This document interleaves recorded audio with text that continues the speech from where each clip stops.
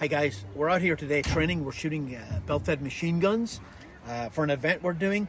This is the, the Soviet PKM belt-fed machine gun. It shoots a 7.62 by 54 rimmed cartridge. Um, this is a non-disintegrating belt. These Soviet kind of communist machine guns, they feed from the right. Most of our NATO machine guns feed from the left. And if you look at the design of a, of a machine gun, this is a, a fairly old one, but modern ones aren't that much different. They fire from an open bolt. Gas tube pushes the piston, pushes the system back. Sear engages the, the, the mechanism at the rear when you let go of the trigger, and it just keeps firing until you let go or you run out of bullets. So the technology in a machine gun has not changed since World War II, really. The, the machine guns, the MG42 or uh, the MG34 um, from that period, kind of the same mechanism.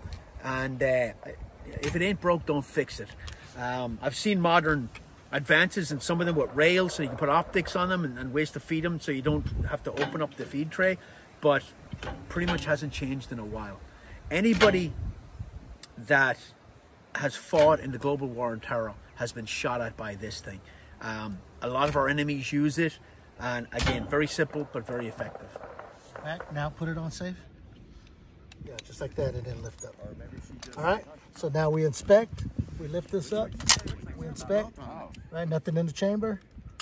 All right, we'll lower this. Put it back on fire. There you go, perfect. Take your belt. And then take the rim, put it inside the uh, extractor. Perfect, slam that shut. All right, go ahead with your firing hand. Okay. And rack it to the rear. Push it forward. All right, you're still on fire, so it should be able to rock and roll. Take a good aim.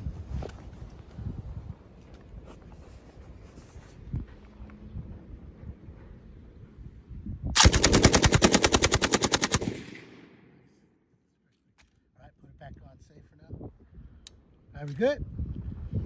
Good. All right, so go ahead.